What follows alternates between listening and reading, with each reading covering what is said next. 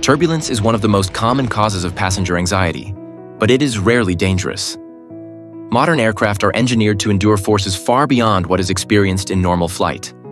Wings, fuselage, and control surfaces are tested to flex and withstand extreme conditions, including severe turbulence. When you feel turbulence, the airplane is simply moving through irregular air currents. Think of it like driving over a rough road. The ride is bumpy, but the vehicle is safe and under full control. Pilots do not perceive turbulence as a threat to the aircraft. Their main concern is passenger comfort and minimizing the risk of injuries from unsecured items or unfastened seatbelts.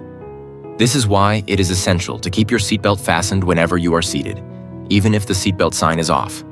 In short, turbulence is a normal part of flying. It can feel unsettling, but the airplane is designed to handle it safely, and pilots are fully trained to navigate through it. Thank you for watching. Please subscribe, like, comment, and share for more informative aviation content.